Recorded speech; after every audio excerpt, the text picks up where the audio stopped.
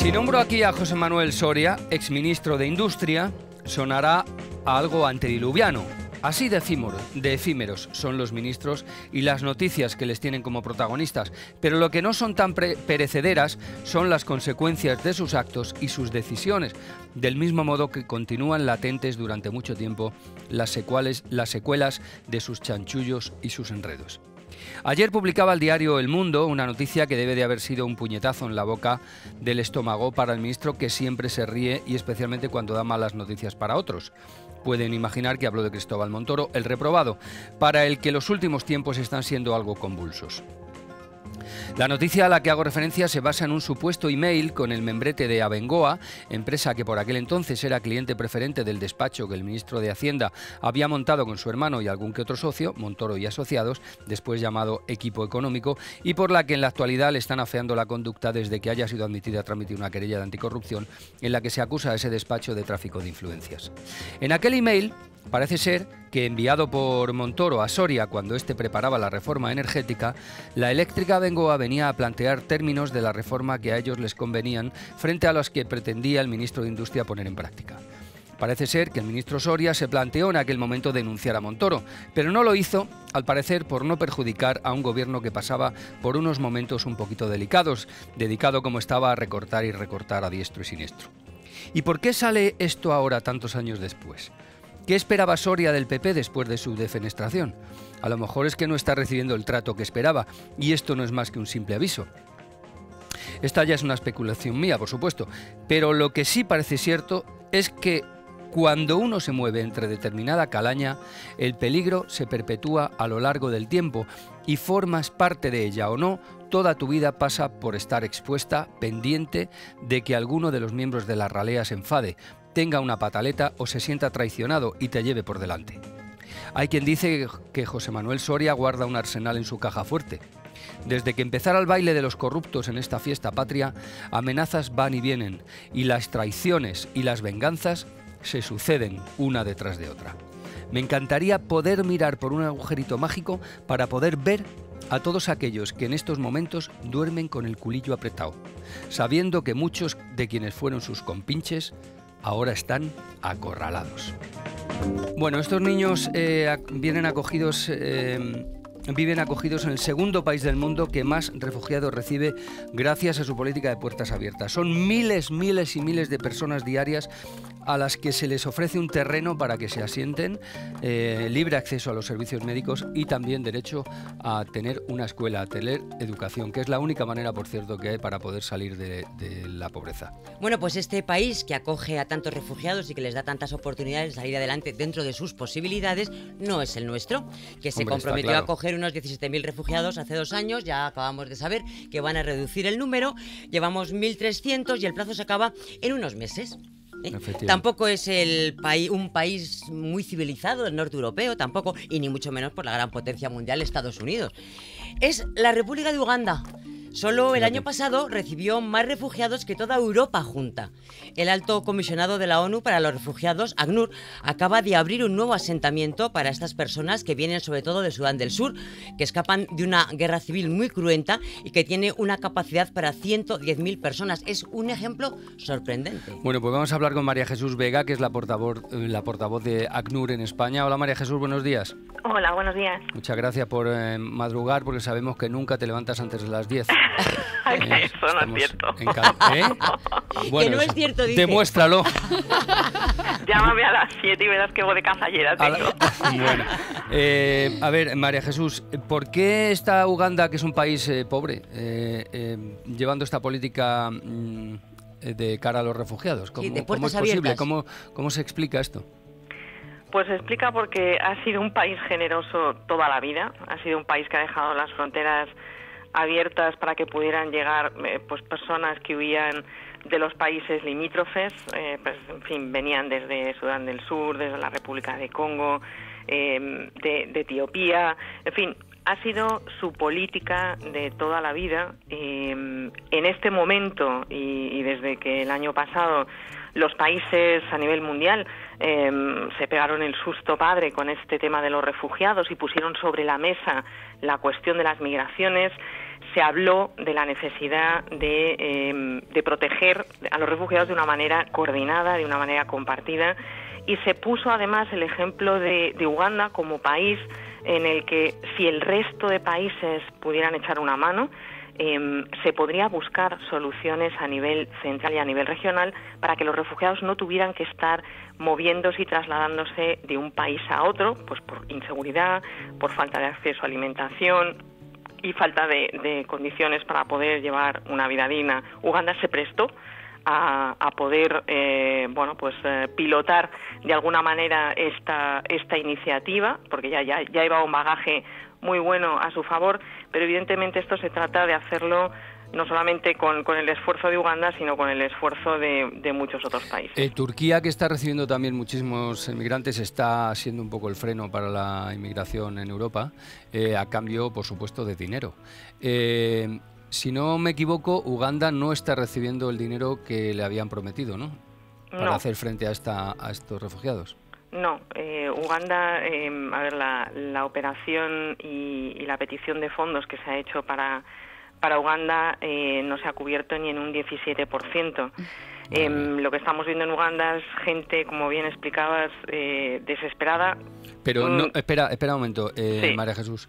Eh, no está recibiendo, o sea, ese 17% es porque los países que se han comprometido a aportar dinero no lo aportan o por problemas burocráticos que están haciendo que se retrase los pagos. No, básicamente porque los países que están en mejores condiciones para poder aportar económicamente y ayudar a Uganda no están, eh, no están, dando dinero, no están no están desplegando, pues, eh, en fin, todos los recursos que ni por un lado ni por acogida ni por dinero, ¿no? no... o sea, por un lado, pues estamos viendo que que esto eh, no es una crisis del mundo rico, sin duda ninguna, pero los países que están en mejor posición para poder eh, apoyar y para poder ayudar no solo cierran a veces sus fronteras y sus puertas, sino que además no echan un cable a aquellos que sí están en disposición de poder eh, de poder hacerlo. Y seguimos viendo que el, el 84% de la población de refugiados a nivel mundial están en países más pobres, en países en vías de, desarrollo o con menos ingresos, como es el caso de, Uganda, que tiene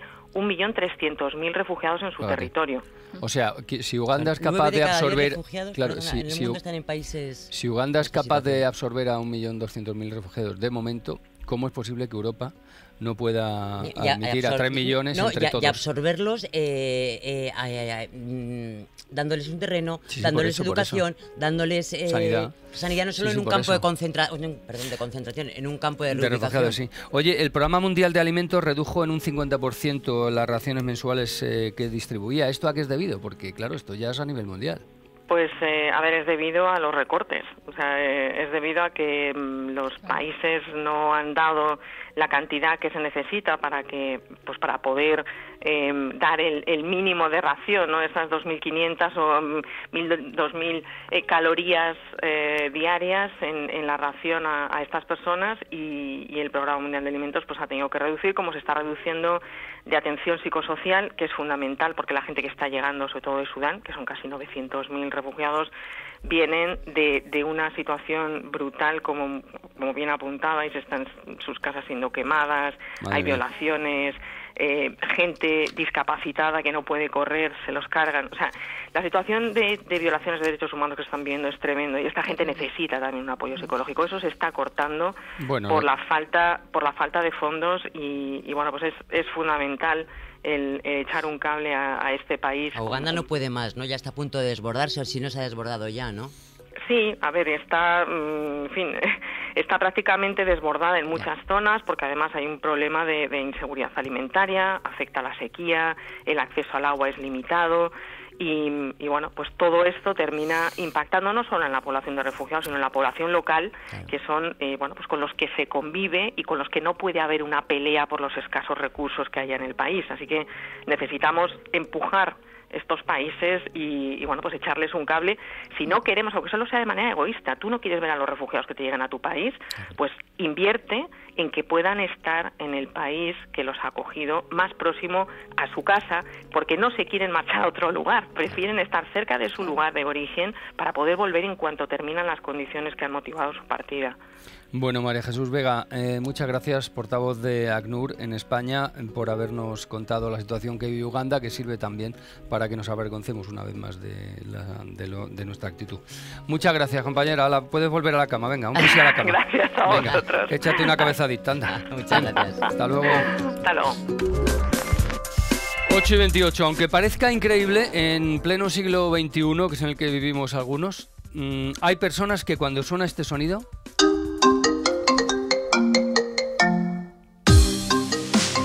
no miran su bolsillo ni buscan en su bolso el teléfono móvil porque nunca lo han tenido, ni se levantan para apagarlo porque lo tienen como despertador, que es mi caso.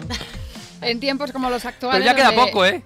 Donde prima la inmediatez, la conectividad de Internet, hay personas que deciden no disponer de teléfono móvil. Y eso que en el año 2015 el número de smartphones igualó el número de habitantes en el mundo. Madre mía. 7.300 millones de terminales. Pero son todos chinos. ¿Quiénes? Los, los habitantes o los smartphones. Los habitantes. 7.200 millones, no. Hombre, no, hay 46 que somos españoles. No, no, no, son, todos chinos. ¿Eh? Los chinos no, no, son 7.000 y pico. Lo que, pasa es que no, no, es que, lo que pasa es que los chinos, sabes que son muy tímidos y se esconden. O sea, que cuando van a contar a la gente china, hay muchos a los que no les cuentan bueno, porque se esconden. ¿Tú conoces a algún chino sin teléfono móvil? Sí. Sí, China es un país muy grande, es prácticamente, pues, Cuenca es grande, por ejemplo, pues muchísimo más grande que Cuenca, en la, que hay muchísima gente que vive en los montes, los montes de China, los famosos montes de China, eh, que no tienen, por no tener, no tienen ni... Ni, móvil, venga. Ni, gafas, o sea, todo fatal.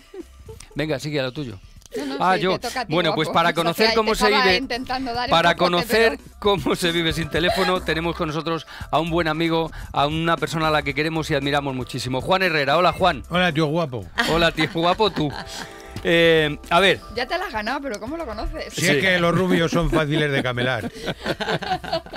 a ver, ¿tú hay algún momento en el que dices, decides un día, decides, no tengo teléfono móvil, lo tiro o nunca lo tuviste? Nunca lo tuve. Pero tampoco tiene tanto mérito. Tú date cuenta que yo nací en una casa con teléfono, que en los años 50, que cuando nací yo, pues yo soy bastante vetusto, eh, eso era insólito, tener un artefacto, un telefónico en tu casa. A cambio no, tenía, a cambio no teníamos váter. Entonces mi hermano decía que cagábamos por teléfono. ¿Eh? Y yo ahora he llegado a la conclusión de que la gente que lo hace ahora, que hace caca por teléfono, es lo llaman Twitter. También, es verdad, hay mucho cagón por teléfono, hay mucho que, deja ahí sus cacas. En, eh, pero Juan, mm, era eso de que hubiera un teléfono en, en, un barrio o en un edificio, solamente uno. Mi número era el 19, por cierto. Sí, joder. Dos números. El 19. Fíjate si soy antiguo. Qué fuerte. estaba los pterodáctilos. Fíjate. Eh, pero escucha, que era, era muy bueno porque te enterabas de la vida de todo el mundo. Claro. Porque claro, les llamaban, vete a buscar a la señora Manuela, que la, que la llaman. Y llegaba la señora Manuela y tenía la conversación y te enterabas de todo. Claro, es que en mi ah, casa pasa lo mismo. Además, como querían ahorrar, hablaban a voces.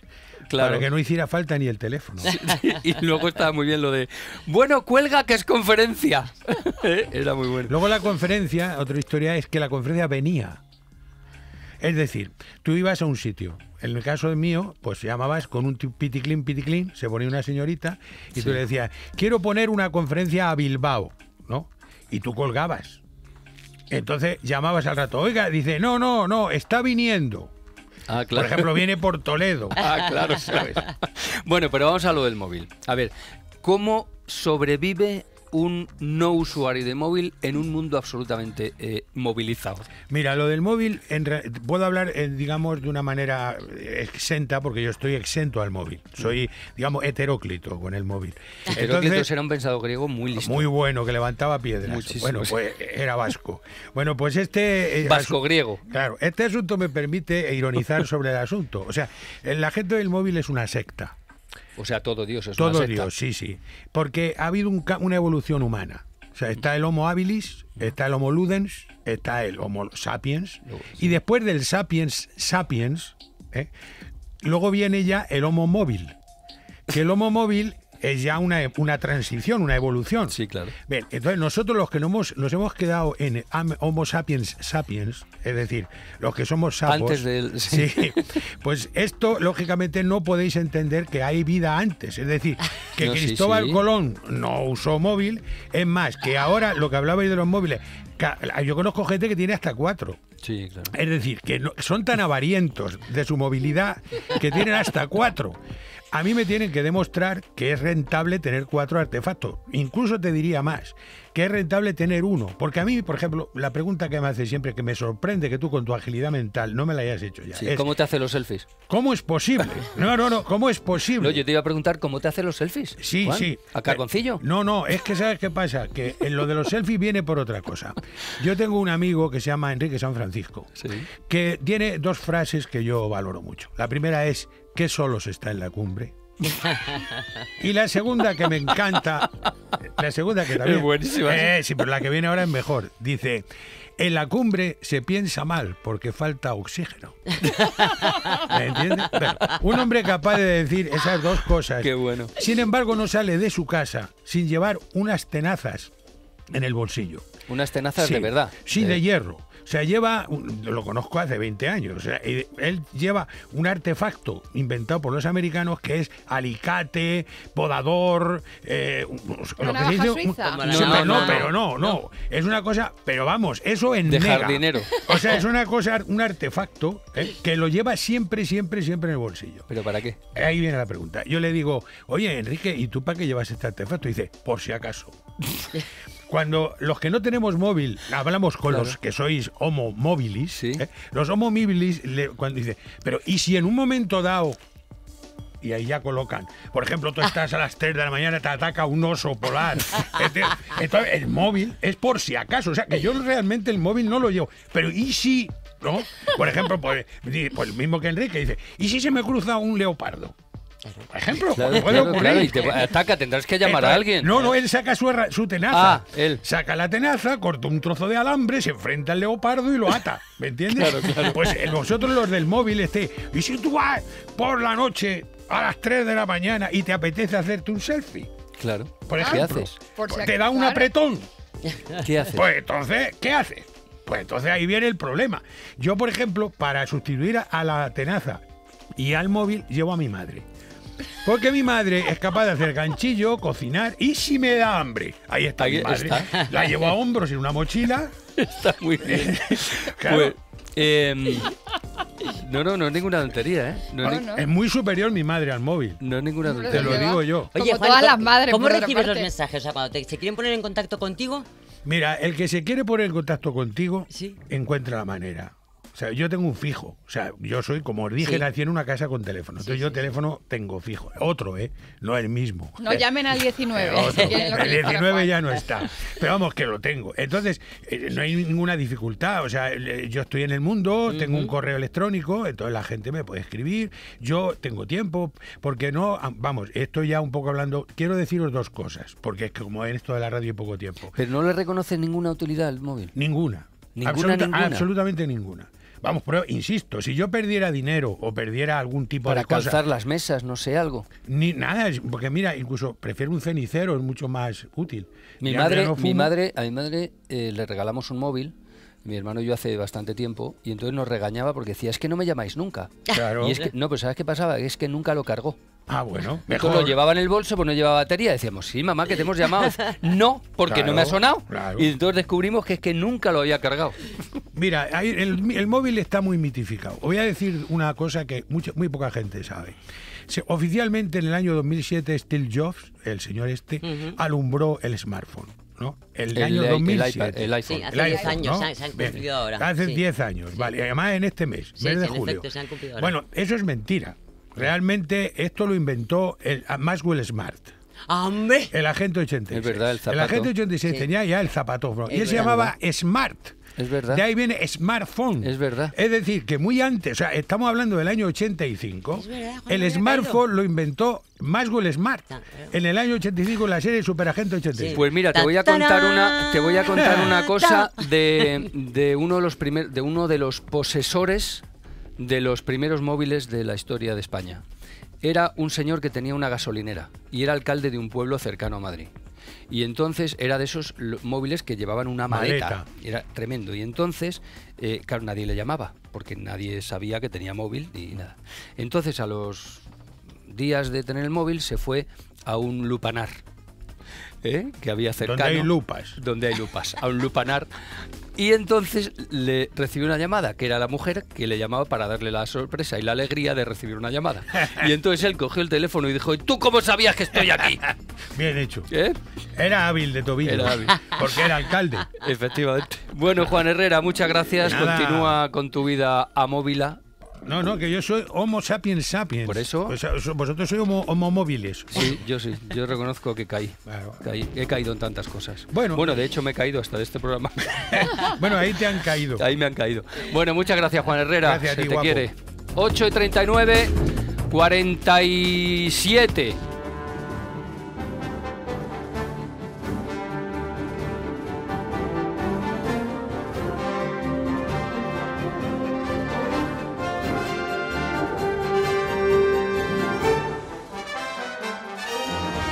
Hoy en las dos Españas, aquí en Arriba España, queremos cerrar una vieja herida que ha acompañado al ser humano desde que los hermanos Lumière decidieron grabar a trabajadores saliendo de la fábrica, es decir, desde que inventaron el cine. ¿Cómo debemos ver las películas? ¿En versión original o dobladas? Porque algunos no se sentirían, no se sentarían, perdón, en la butaca de cine si Darth Vader no tiene la extraordinaria voz de Constantino Romero. Yo soy tu padre. Y a otros porque lo único que quieren ver de un actor de doblaje es una escena en la que el personaje esté agachado. Dos posturas contrapuestas que deben quedar solucionadas hoy aquí en Arriba España. Y para defender la versión de la versión original tenemos a toda una enciclopedia del cine, Elio Castro, presentador junto a Antonio Martínez del programa Sucedió una noche de la cadena Ser, y para defender la versión doblada tenemos a todo un actorazo de doblaje, José Padilla, que entre otras voces es el doblador de Hola, soy Mickey. A ver si eh, a ver si aprende María Gómez y tiene una escuela de doblaje en Madrid. Buenos días a los dos. Buenos días. Hola, buenos Y días. muchísimas gracias por, por eh, venir al programa. Gracias Eh, a vosotros. imítame un poquito a, a Miki. ¡Oh! ja, ja, ja, Es muy temprano, pero bueno. Es impresionante, buenísimo. Miki, vamos, ¡Qué tío, qué bueno! fuerte. Bueno, chicos, eh, tenéis exactamente 30 segundos cada uno para defender lo que vosotros creéis que, que es mejor, la película doblada o la película no doblada. Bueno, en, en principio es, es un duelo desigual porque yo soy yo y él es él y sus personajes. Claro, Son claro, ciertos, eso ¿no? es verdad, eso es verdad, Yo voy perdiendo minoría. ahora mismo, ¿no? Estoy en minoría. Es verdad. No, yo no soy talibán del, del doblaje, o sea, antidoblaje. Yo prefiero ver las películas en versión original. Si las tengo que ver dobladas, pues las veo dobladas. Hay muy buenos doblajes, hay una escuela de doblaje muy buena en España, pero yo creo que la versión original siempre es eh, lo más puro. Ves la interpretación del actor, ves su voz, que es muy importante, ves sus matices, ves si ha trabajado o no ha trabajado un acento, y eso, en parte, en el doblaje oh, se pierde. Entonces yo prefiero siempre ver las películas en versión original. Antonio. José. ¿Eh? José. José, perdón, perdona, perdona, que fallo. Bueno, yo prefiero ver las películas dobladas más que nada porque como no conozco el, el idioma de la, de la del original, de la película que, que voy a ver, pues prefiero que me lo den traducido y si está bien interpretado, mejor, así me entero de- del argumento. A ver, dice, bueno, cada uno ha dado vuestra vuestra eh, su opinión. A ver, dicen que lo que se pierde son los matices interpretativos del, del actor. Quiero decir que por muy bueno que sea un doblador, eh, Actor de doblaje. bueno, es verdad, actor de doblaje, evidentemente Robert De Niro es Robert De Niro, entonces mm, actúa como Robert De Niro. Eso es lo que dicen quienes defienden que el cine en, en versión original. ¿Qué te que decir a eso, José? Mm, Pues que tiene razón, efectivamente, el original siempre es el original. Ni, ni es mejor ni es peor, es el original. Entonces, hacer una imitación tan perfecta, primero tendrías que tener la misma voz que, que- que Robert De Niro para que luego al tratar de imitarle pareciera que está hablando él. Eso va a ser imposible. Siempre tratamos de pegarnos a los matices que escuchamos eh, por el gesto que, que- vemos. A veces estás ensayando un take, eh, entonces como se hace tan rápido, no te da tiempo a, a estar mirando la pantalla para ver exactamente en todo el tiempo que dura el take, la- el fragmento Sí, que vamos a hablar qué, qué te va a transmitir el personaje. Entonces tú lo vas escuchando, vas leyendo, vas haciendo el ensayo de, eh, métrico del taque y, y en un momento dado, cuando ya estás viendo que ya lo has hecho, lo, lo estás viendo mirando a la pantalla y descubres un pequeño gesto que, que se te ha pasado y que a lo mejor quieres... Entonces intentas matizarlo. Entonces intentas matizarlo, ¿no? Pero nunca va a ser posible igualarlo. Y por el otro lado están quienes defienden que al verlo en versión original te pierdes la interpretación porque realmente tienes que estar atento a los, A los cartelitos. Bueno, es el que lo necesita. Perdona. claro. Pero tú, que eres una persona con idiomas, no. Yo sí, pero claro, si voy a ver una, una película polaca, que yo voy muchísimo a ver películas polacas de vanguardia, pues claro, me pierdo porque el polaco no lo domino. Sí lo entiendo, pero no lo domino. Bueno, pero los subtítulos yo creo que es un, ¿Eh? están bastante bien encajados también y puedes fijarte en todo. Y yo creo que hay otra cosa, precisamente en estas películas, la polaca o las chinas o las asiáticas, te pierdes ese, esa sonoridad que envuelve toda la película, que también forma parte de la película, ese ritmo, eh, ese sonido, no sé, te pierdes cosas que yo creo que con el doblaje se pierden, ¿no? De todas maneras, yo lo que veo en esta, en esta defensa del doblaje y del no doblaje y del original, veo que estáis muy, muy suaves. O sea, ni os insultáis, No, ni os estáis mordiendo. Pero sí, yo creo que hay grandes dobladores. O sea, antes has dicho de Robert De Niro, pues de Robert De Niro. Actores de doblaje. Actores de doblaje, pues no, pero doblajes en las películas. O, eh, o Marlon Brando eh, en El Padrino, pues es un. eh, hace poco, pues eh, se cumplía ayer o antes de ayer el aniversario de la muerte de James Stewart. Pues James Stewart tenía unos dobladores actores de doblaje mm, fantásticos y además con un tono de voz muy, Muy parecido. parecido, exacto. sí, sí. Yo creo que eso se va perdiendo con el paso de los años y cada vez los doblajes en España son peores. Siguen siendo buenos, pero son peores. ¿Por qué los actores suelen doblarse fatal a sí mismos? Es verdad. Yo ¿eh? estoy de acuerdo, Bueno, es verdad, ¿eh? Yo creo que Porque es no por- son actores de doblaje. En efecto. No, pero yo creo que es una falta de práctica. Pero falta de práctica en el sentido de que cuando tú estás condicionado a empezar a hablar en un numerito o cuando se mueve una hoja para coger exactamente la medida de dónde tienes que... Es que a veces el diálogo entra en off, no estás viendo al actor y acaba en boca. Entonces tienes que hacer una medición perfecta para decir la frase en la cadencia que tienes que decirla y que acabes exactamente cuando el personaje cierra la boca Entonces, eso es una práctica que no tienen los actores españoles cuando se van a doblar a sí mismos y yo creo que es que se deben de poner muy nerviosos. El hecho está en que, por ejemplo, Antonio Banderas eh, tiene algunas películas, en las primeras creo que se doblaba, pero no sé si lo pasaba mal haciéndolo. Desconozco la razón, pero el caso es que tiene un actor de doblaje, eh, Pachi Aldeguer, que le dobla maravillosamente, intenta pegarse a sus cadencias, a su tono, a su interpretación, y Antonio no se dobla a sí mismo. Tampoco se ha doblado Mejor, Javier mejor, se lo Bardem. agradecemos. En Sí. Skyfall tampoco se dobló él. Yo creo que es porque es la falta de práctica hace que te pongas un poquito nervioso y que no Y no puedas pegarte a tu claro. propia Pero interpretación. también puede pasar una cosa, que un actor de doblaje mejore la actuación del actor de, de la película. También pasa a veces, ¿eh? Puede suceder, pero estamos en lo mismo. Nunca sería el original, ¿no? El original es Bueno, para ver hecho. si hay tanta diferencia entre el cine doblado y el original, vamos a escuchar una escena icónica de la película Pulp Fiction en su versión doblada. Di que una vez más. Di que una vez más. Te reto, te reto dos veces, cabronazo. Di que una maldita vez más. Es. es. es negro. Y ahora en su versión original. What? Say what again? Say what again? I dare you. I double dare you, motherfucker. Say what one more goddamn time. He's black. A ver, ¿cuál de las, mejor, de las dos versiones es mejor? Chicos. Hombre, es buen doblaje el que le han hecho a Samuel L. Jackson en, en la película, pero yo me quedo con la, con la versión original. Me quedo con él. Eh, yo, como no lo entiendo, insisto en lo mismo. Claro. Quiero saber qué es lo que ha dicho. Motherfucker. Motherfucker no es exactamente cabronazo, puede ser, sí, pero bueno. ¿no? Ahí, también es verdad que el doblaje durante muchos años, bueno, durante el franquismo, se utilizó como censura. Hay películas como Casablanca que el doblaje, pues el primitivo doblaje, luego ya se corrigió, evitó, por ejemplo, que el personaje de Humphrey Bogart dijera que luchó en la guerra de España al lado de los republicanos. O sea que también es un arma bastante, eh, digamos, peligrosa. Pues, eh, ahora ya no, pero en manos de un director de doblaje a lo mejor muy puritano, pues toda esta sarta de eh, insultos y de palabrotas se puede su- suavizar, o a lo mejor se suaviza por cuestiones comerciales, ¿no? Elio, ¿has visto alguna vez alguna película española doblada a otro idioma? Sí, he visto alguna. ¿Y? Eh, pues, eh, hombre, te, te resultaba extraño. Fíjate, me pasó una cosa. Vi, eh, eh, hablé con ella de Pedro Almodóvar por la televisión en Francia. Y me quedé durante buena parte de toda la película, no toda, pero me quedé viéndola. Ya conocía, entonces me, me gustaba ver cómo sonaba en otro idioma, que si se podía seguir un poco sin la necesidad del idioma, bueno, con el poco francés, así que se puede entender. Bueno, es una experiencia. Yo creo que el doblaje no va a existir. Las televisiones van a seguir doblando películas y el espectador tiene la opción de verla en versión original con subtítulos o en, versión doblada. O sea que yo creo que no es un mundo que vaya a desaparecer. Yo sí, eh, pues eh, eh, eh, potenciaría un poco que la gente en las salas viera la versión original. En cuanto al inglés, eh, la gente que defiende también la versión original eh, dice que en España hablamos tan mal inglés, entre otras cosas, porque nos hemos comido el cine siempre doblado. Cosa que en Portugal, por ejemplo, no pasa y hablan muchos de ellos inglés. ¿Tú crees que es verdad eso o no? Mm, En parte puede ser que eleves un poquito el nivel cultural de idiomas, pero en fin, yo llevo en esta profesión 38 años, eh, he adaptado muchísima, muchísimo doblaje y cuando estoy con el texto traducido y escuchando el inglés directamente de la, de la película, lo voy entendiendo. Pero si me quitas el guion y no tengo un texto delante, no sé por dónde No se estoy. te queda, no se te queda. Claro, entonces no he conseguido en tantos años aprender el idioma. No quiero, no quiero defender con esto que, que, bueno, que el hecho de que no, no haya podido yo entender el inglés en tantos años, ¿eh? Eh, pues ¿Has tenido que doblar alguna vez una peli en idiomas raros?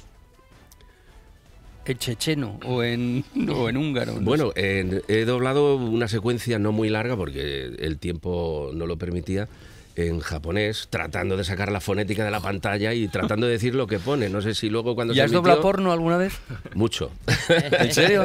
sí, en los primeros eh, años de mi vida profesional se doblaba el porno, ¿no? Claro. Porque Y- entonces emitía también mucha mucha película porno y había muchos eh, videoclubs donde colocar esas películas, ¿no? Ahora ya, Sí, sí, ¿no? Ahora, ahora ya el cine, o sea, no hay ningún gratis. canal, ni siquiera, ni siquiera Sí, Yo- sí. con una el cosa- grano ese. Yo hay una cosa que no entiendo del, del- del doblaje, del, del precio de las entradas en concreto. ¿Por qué cuesta lo mismo ver una película doblada que verla en versión original subtitulada? Yo creo que la, la película doblada tenía que ser un poco más cara porque tiene un, Un trabajo sobretrabajo, extra. ¿no? Claro. Encima. Entonces se le da por el mismo precio puedes verla en versión original y doblada. Bueno, entonces la gente va a verla doblada, lógicamente, ¿no? Porque es más cómodo. O sea, mi hija, por ejemplo, que sabe hablar perfectamente inglés, siempre ve las películas dobladas. Yo digo, pero si tú sabes perfectamente inglés, ¿por qué no vas a ver? No, no, no, porque me, me es más cómodo. Claro. Y, y- y añade, hay buenos Pero ¿por qué cuesta lo mismo la entrada? Yo creo que, bueno, debería ser la versión original mucho más barata y a lo mejor así pues se Esto promovería. está siendo una mierda. ¿eh? No, no os estáis enfrentando ni os estáis pegando. Está Hombre. siendo una mierda enfrentamiento. Esto es lamentable.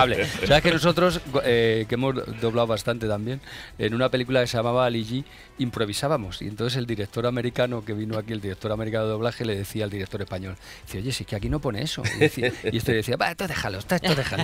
Porque improvisábamos en el doblaje. Bueno, fue Bueno, pero en, en los dibujos animados yo creo que es- está muy valorado el, el doblaje, ¿no? Sí, la la sí, versión claro. original de las películas americanas de dibujos animados eh, están actores muy conocidos y aquí pues se, se buscan Claro. actores también conocidos o personajes Claro. muy, muy conocidos como vosotros. Bueno, hay que recordar eh, que José tiene un, un- Una escuela una escuela, no solamente dobla, sino que también mm, forma a dobladores, ¿no? ¿Cómo se llama tu escuela? Eh, Escuela de doblaje CID o de José Padilla. Pues ya sabéis que todos aquellos que os dedicar, eh, que os queráis dedicar a este mundo apasionante y muy bonito, eh, tenéis al- algún sitio donde os van a formar. Elio, muchísimas gracias, A gracias a los dos. Gracias y yo lo único que sé es que doblado o sin doblar hay que ir al cine porque es maravillosa. Es la fábrica de los sueños. Igual que la radio. Aunque unos van y otros vienen. Vale, 8 y 10 y 40 y 50 y tal.